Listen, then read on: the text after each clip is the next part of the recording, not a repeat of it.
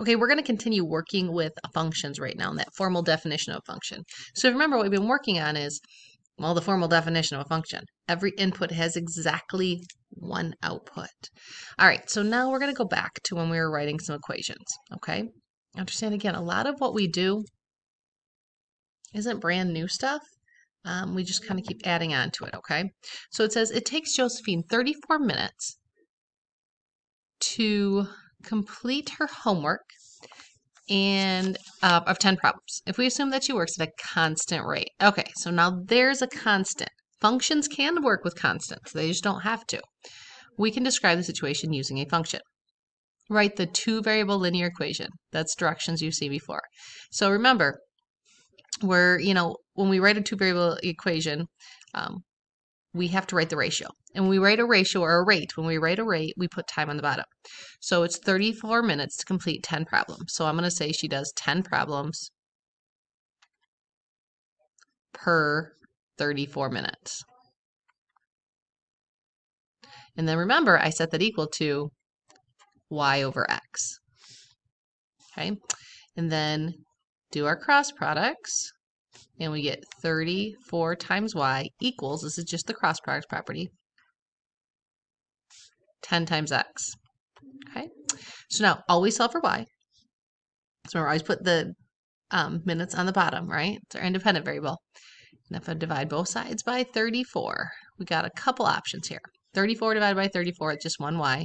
Um, you could leave this as 10 34ths x or if you reduce it, I guess you could say y equals, divided both by 2, 5 17ths x, or if you did a decimal, you're going to get some kind of random decimal there, but um, you could approximate it as 0.294. I think you're going to get a random decimal.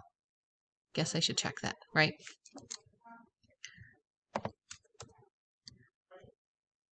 Uh, calculator. There it is. Okay. Um, 5 divided by 17. Yep, I was right. Get a random decimal. Okay. So here's our rule, our function, right? So we have, I'm going to use this one. Okay. Could use the fraction ones, but I'm guessing you probably won't. Notice we have our x values here and our y values here. These are inputs. We're going to input our x values. That's why we always solve for y, because our y values are dependent on um, what our inputs are. So the first one's already been done, right? So they took a 5 and they plugged it in here for x, okay? And so then we do that with 10, and we would just go 0 0.294 times 10. And we get 4.41. Nope, we don't. I am jumping ahead. Sorry. Let's try that again we get 2.94. Yeah, that didn't even make sense, did it? And then if we go 15 and put input a 15 here, we get 4.41. If we input a 20, we get 5.88. If we input a 25, we get 7.35. Okay? So again, we've done all of this before. We wrote the equation, we're plugging numbers in. We can handle that. Now it says after five minutes, she was able to complete 1.475 problems, which really doesn't make sense. I mean, it makes sense, but it says here she, can, she completed one problem and about half of the next.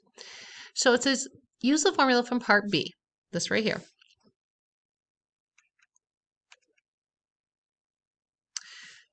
To complete the number of problems when x equals negative 7. All right, so I'm going to take negative 7 and I'm going to plug it in here. And my y is going to equal 0.294 times negative 7. And then type that into a calculator. Okay, my calculator does not do negatives. Maybe somewhere on here. But anyway, so I'm going to do times it by 7, 2.058, but I know a positive times a negative is going to be negative. That's negative 7 there. So y is going to equal negative um, 2.058. Okay. So y is our number of problems. Does it make sense for us to have a negative number of problems? Well, let's think about it. X is a number of time. Does it make sense to have a negative time? No. So um, we're going to just say no. Does say to explain, so I'm going to say negative 7 minutes to complete negative 2.058 problems doesn't make sense.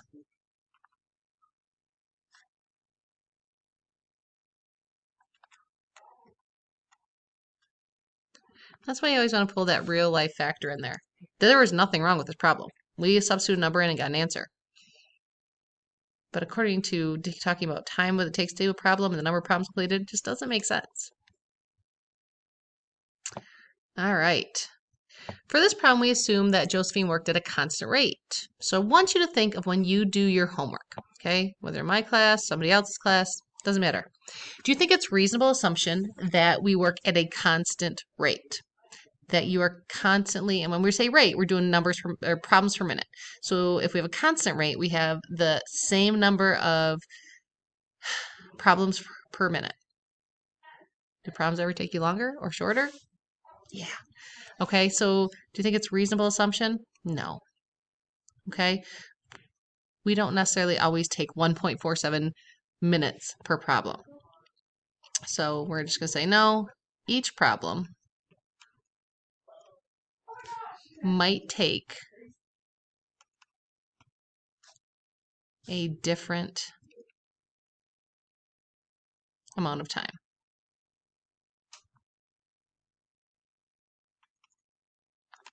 Okay, so I hope you realize that when we're dealing with functions here, we kind of work with them the same way we've been working with different problems. Um, but we can identify things that are, are functions now by having that definition. Each input has exactly one output.